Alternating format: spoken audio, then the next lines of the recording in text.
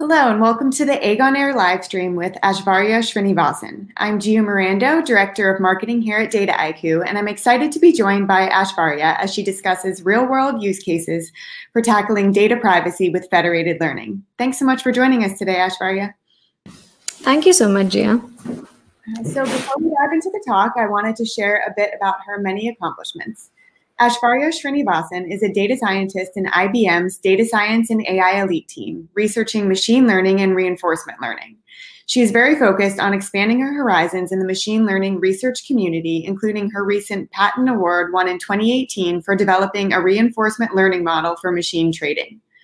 Aishwarya is a postgraduate in data science from Columbia University. During her engagement, she primarily focuses on bringing in machine learning research to create business value, working with clients all across the globe. She is an ambassador for the women in data science community, actively organizes events and conferences to inspire budding data scientists, and has been spotlighted as a LinkedIn Top Voice 2020 for Data Science and AI, which features the top 10 machine learning influencers across the world. So I know you were all eager to hear from her. So Aishwarya, I will pass the floor to you. Thank you so much, Gia. Uh, let me quickly share my screen. Uh, let me know if it's visible. Okay, uh, it is visible, right?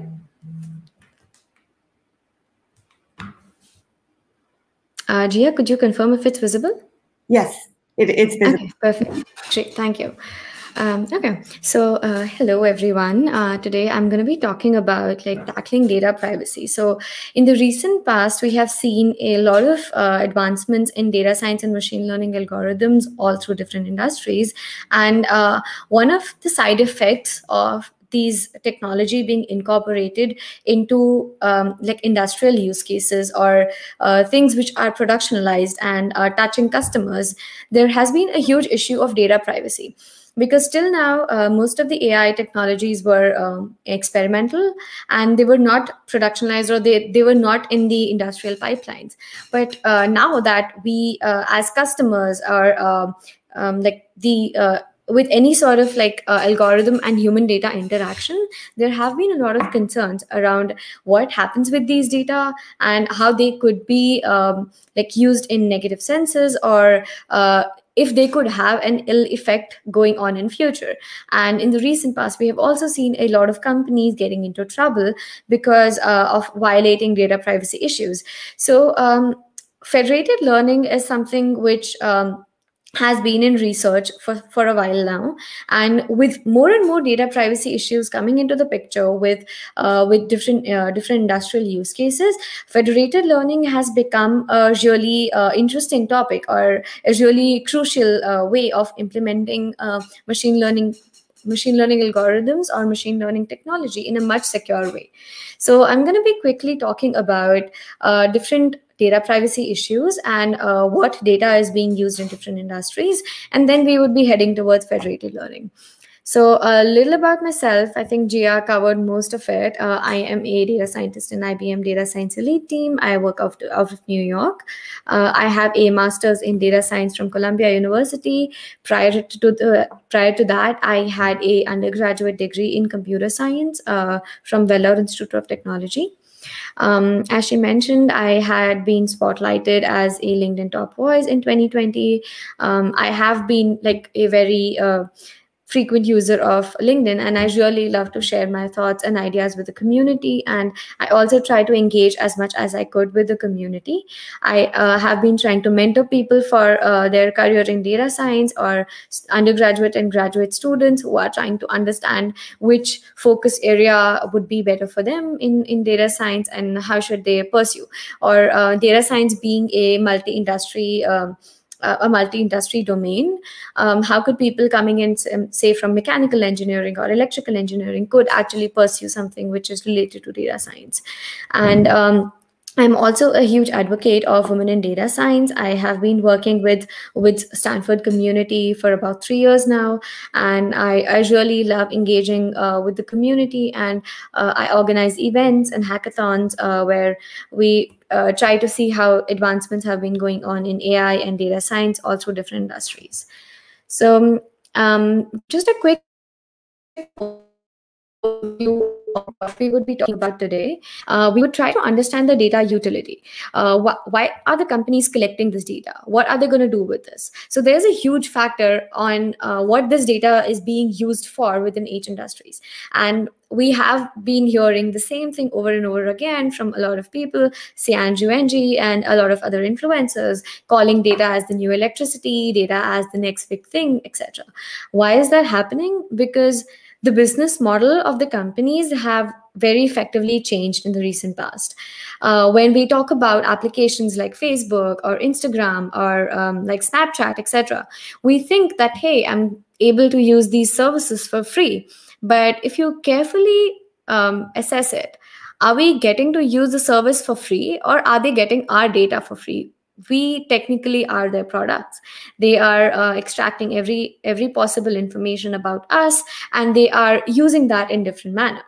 Um, then we would be talking about data privacy and we would be going more about um, how how could it affect you in different ways and what could be the possible uh, ways of um, data being misused in different industries um, and the third section would be about the trade off between data utility and privacy. So, when it comes to uh, building machine learning models, it's it, it's a very common uh, saying that garbage in and garbage out. So, if you are providing your machine learning model with high quality data, that is when your model would be effectively able to uh, predict or like uh, you know artificially create this um, pattern. Um, understanding what is being happening with your data. But if we are not providing it with enough data then the entire purpose of recommendation systems and predictive analytics would actually not work right? So um, for any industry to work really on a better um, like in a better format with these machine learning models it is uh, very crucial for them to have high quality data. But with more and more data comes a trade-off for privacy. So how do we handle that and then uh, we would touch base on federated learning what federated learning is and i would uh, get into the deeper uh, weeds of federated learning talking about the uh, frequently asked questions about um, you know what are the nits and bits in federated learning which you need to know about. And then we would be going over some of the case studies uh, from different industries where federated learning could be a really um, uh, would be a really good place to apply it and finally, we'll end it with uh, takeaways. So going to what is this data being, uh, like what data is being collected? So if you look at different industries, there could be broad in a broader sense four different categories of data. One is a personal data. So within personal data uh, it encompasses things like your social security number your email addresses your browser cookies your uh, date of birth everything and anything which you enter in that and which talks about you right? Your personal information. That's the personal data. Uh, the second section is the engagement data. So what comes in the engagement data is basically how a consumer or a customer is interacting with their websites, how they are interacting with their applications or uh, emails, or uh, how they are responding to uh, these technologies coming in from a company. The third section is basically the behavioral data.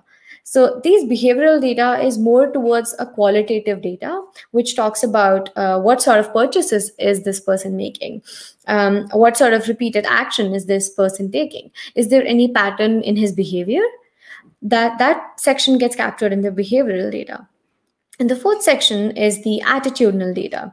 So within attitudinal data, we talk about what is the reaction of the customers on these technologies.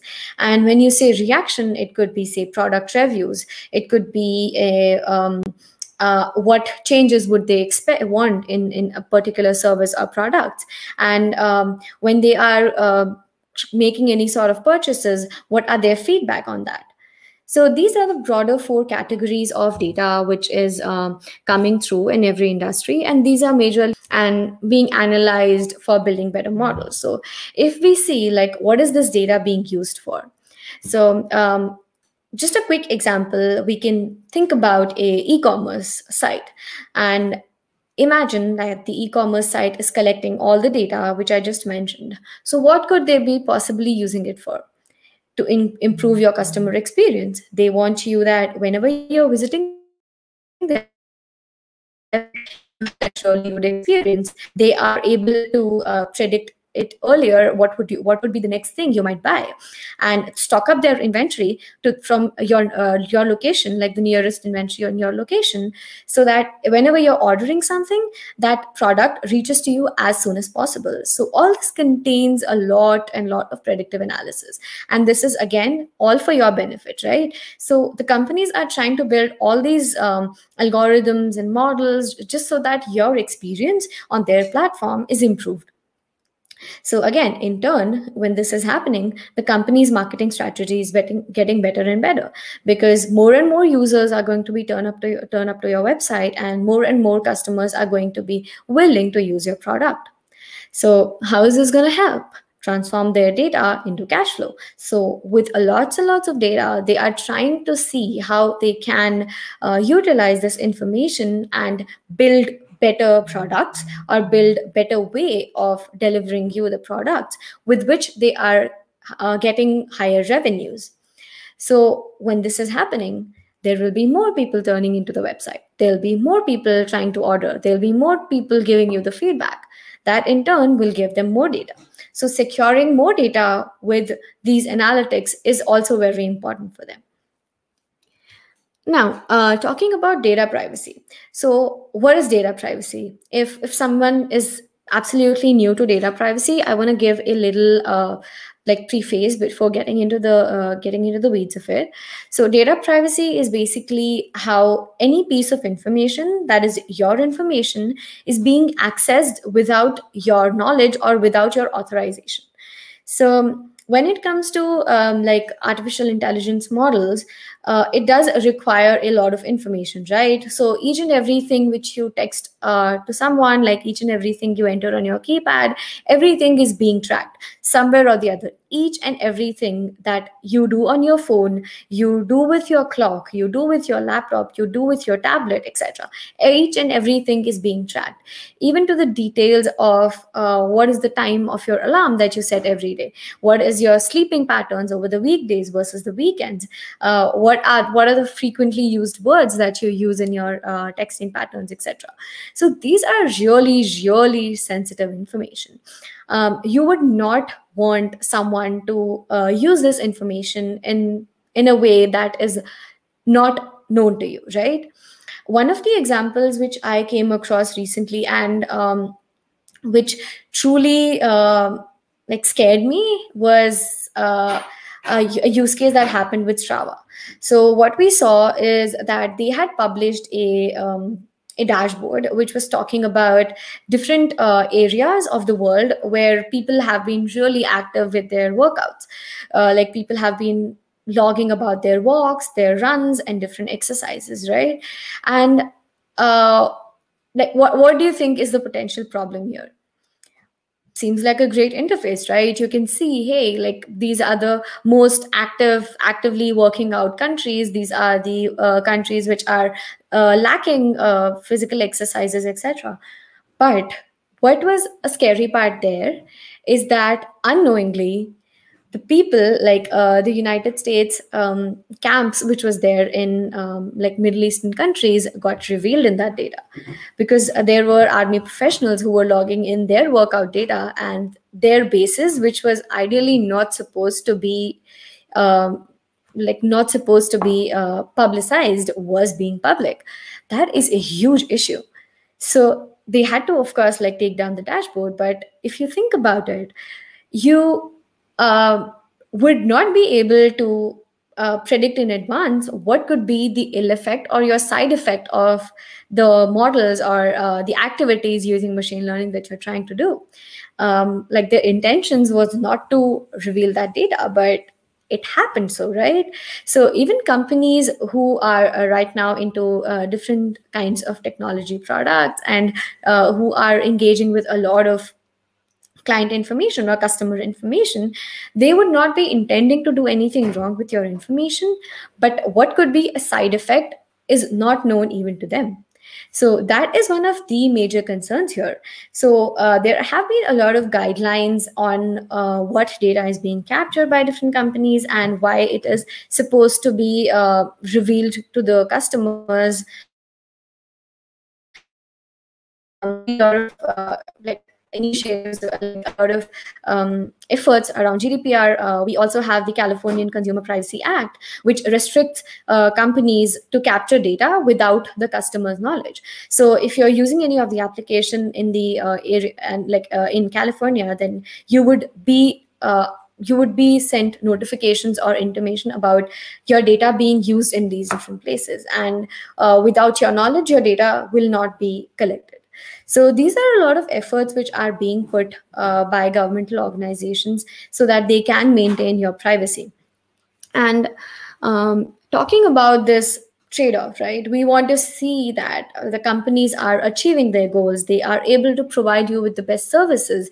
They are able to capture your uh, um, like your activities. They are able to predict the best products for you. They are able to give you the uh, best way to um, you know um, whenever you're let's say ordering things uh, you get the uh, best supplies as soon as possible or you get um, like before you even like know what all things you buy you can get like uh, intimated uh, predictions for the products that is great. You want to have all these things. You want to uh, to wake up every morning with a set of news which is exactly what you wanted. You don't want to sit and search about particular newses. So these sort of recommendation systems is needed for the people.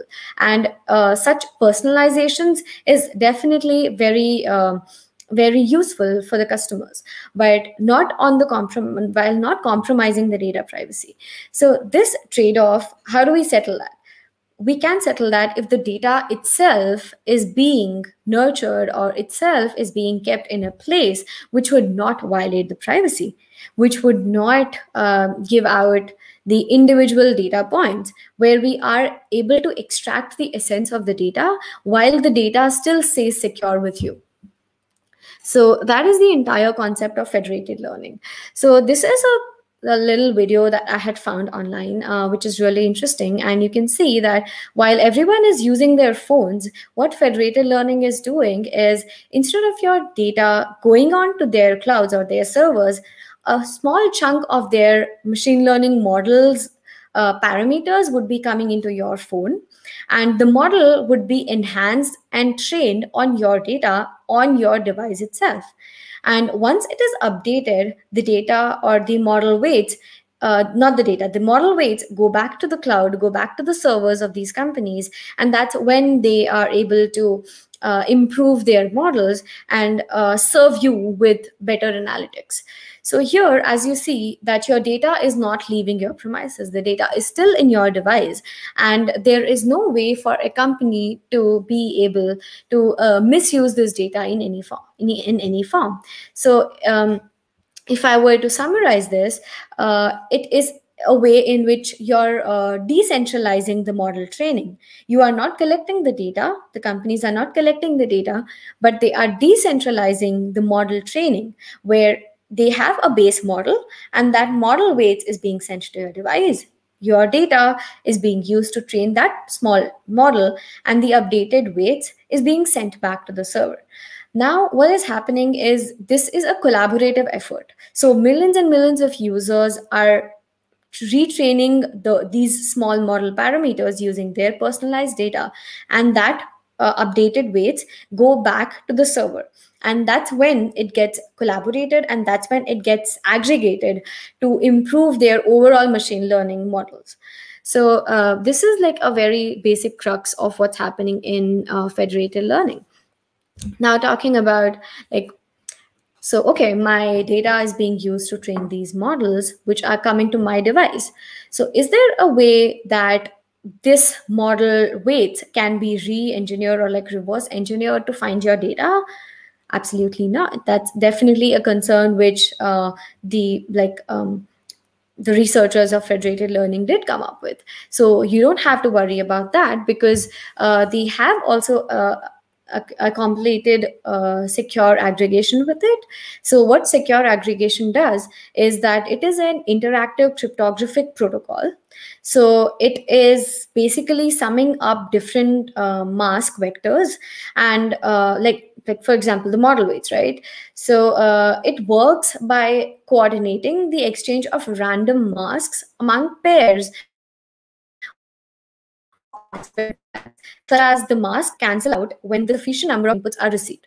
So this basic uh, version will make it in a way that even the server would not be having that encryption key they would have uh, they would have the key that would be effectively uh, decrypting the entire model but they cannot decrypt any of the individual model parameters which are coming in so if you see on the left image uh, each and every triangle is a new model uh, new model trained that is coming from different devices and these are individually encrypted. And these cannot be de decrypted by the model individually. When they are collectively uh, collectively like um, set together that is when uh, the server would be able to decrypt this collaborated mo uh, collaborated uh, model training.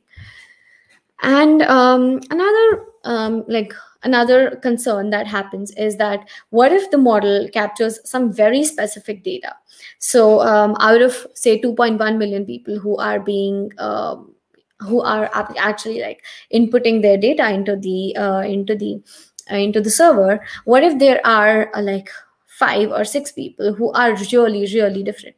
Uh, they could be like really high officials in the government. They could be uh, high authoritative people. What if their very specifically different data can get uh, can get recognized in the entire model training when when the data is going there?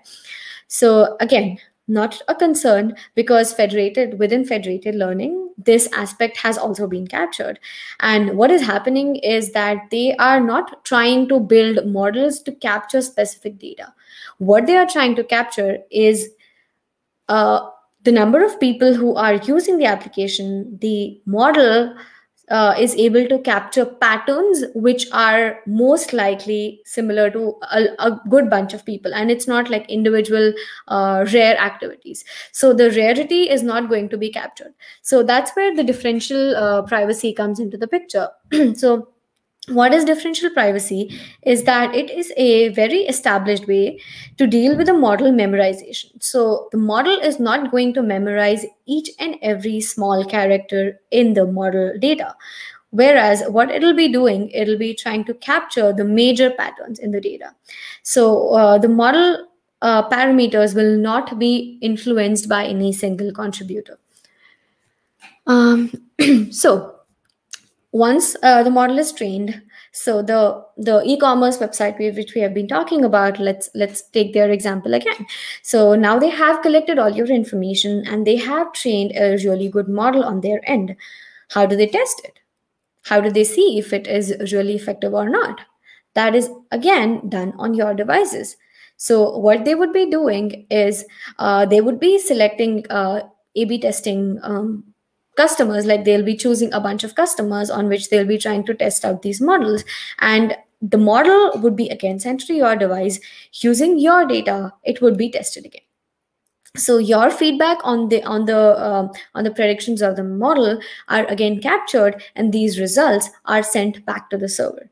So the model training again is happening on your device. Your data is not leaving your device isn't that great? Mm. so uh, when it comes to like applications of federated learning it is like data science. Like data science is applicable in a lot of industries. Every industry having data needs data science right?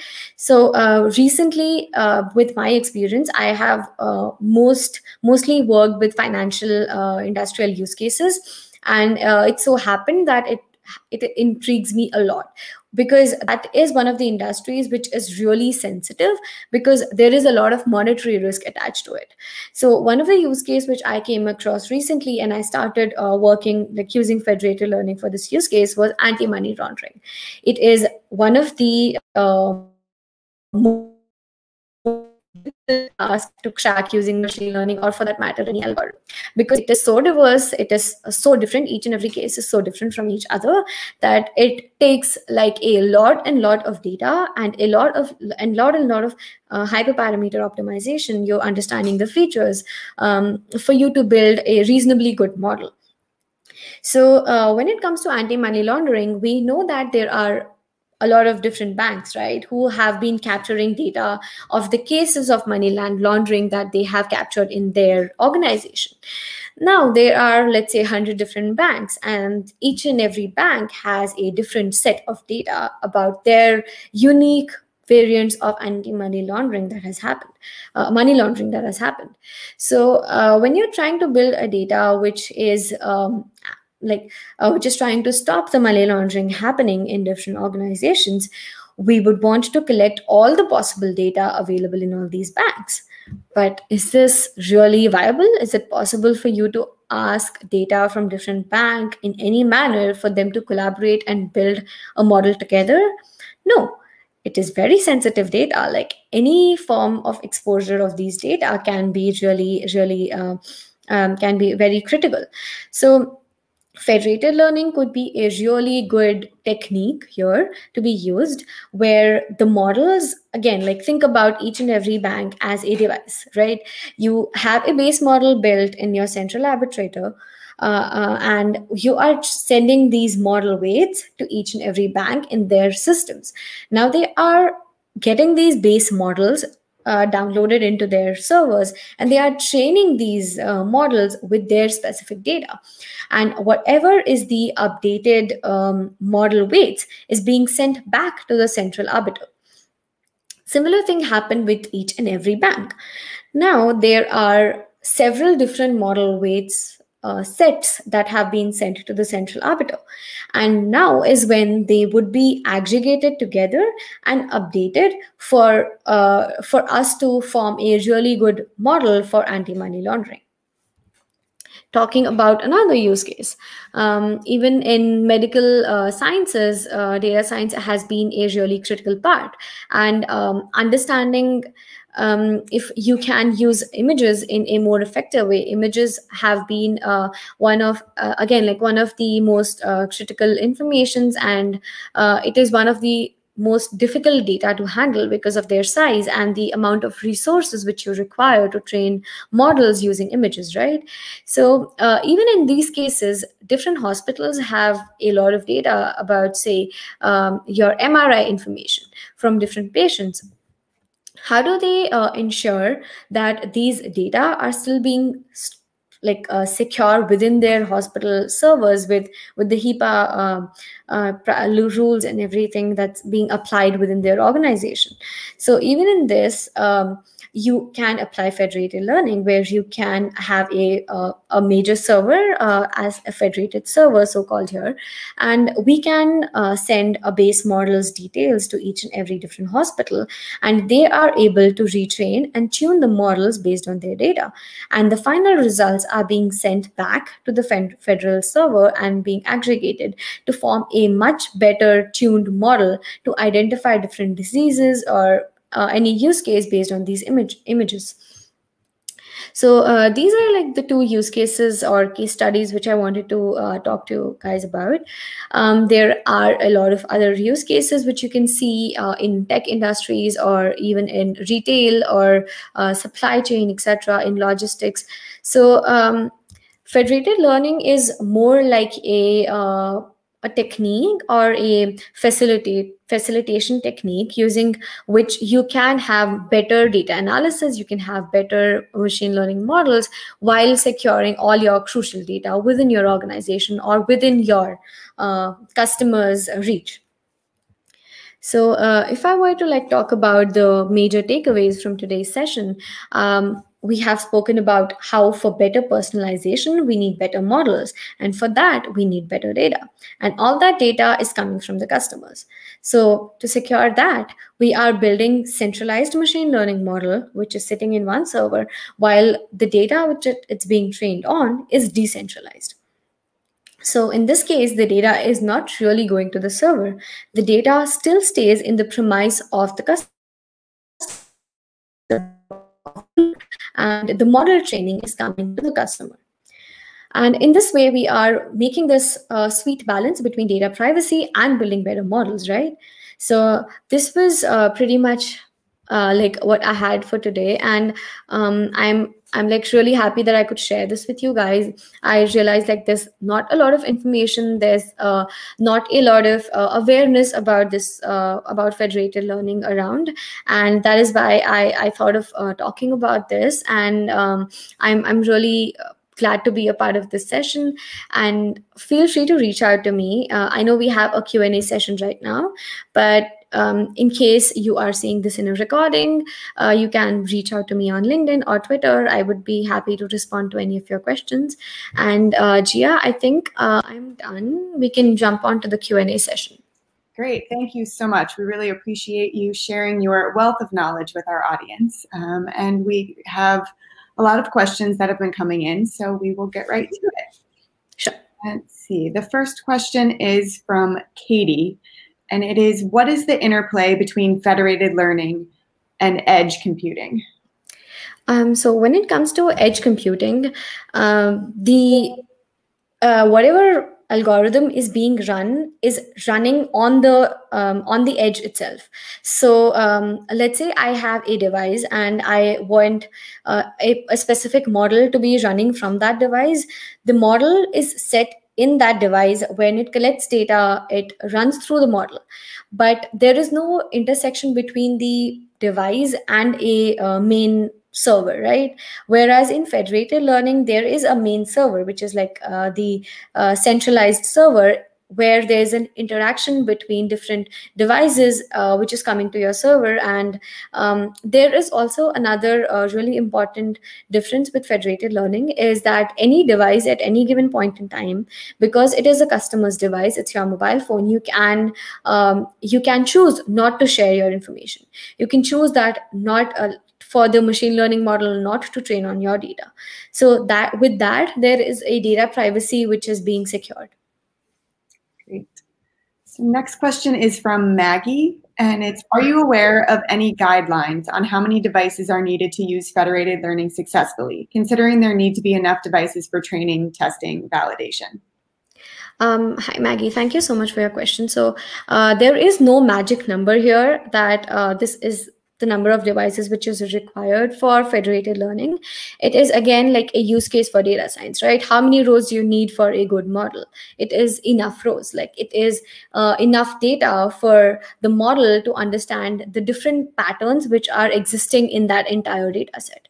So um, when it comes to federated learning, one of the um, one of the uh, methods is that whenever your data is reaching the federated server, uh, it doesn't get immediately trained. So there is a uh, there is no continuous learning here. So uh, there is independent uh, like data coming to the server, and um, it is um, a unison where it is being trained. So the the machine learning is not being trained on each and every incoming data point. So um, there has to be enough data, but there's no magic number which I can call out, say 10,000 data points for the federated learning algorithm to work the best.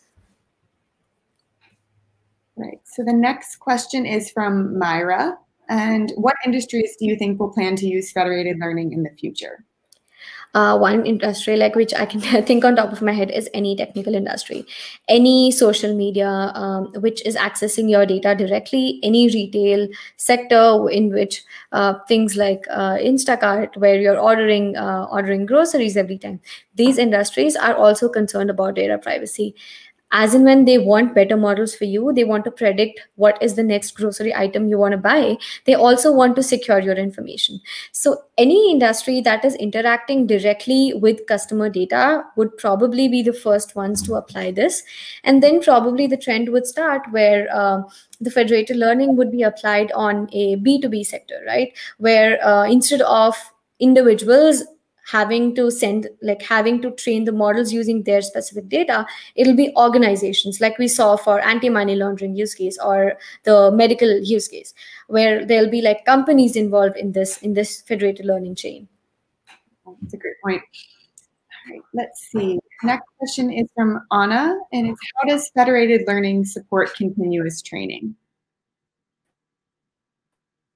Uh, federated learning uh, right now does not support it. continuous training. Uh, right now, it is a batch process where um, at every given interval, uh, the all the data which is incoming is combined and then used for retraining. And there are going to be multiple tests which every organization or every industry would be doing on their end before supplying these machine learning models back to your devices for you to test. So uh, there is a entire pipeline in this uh, in this situation.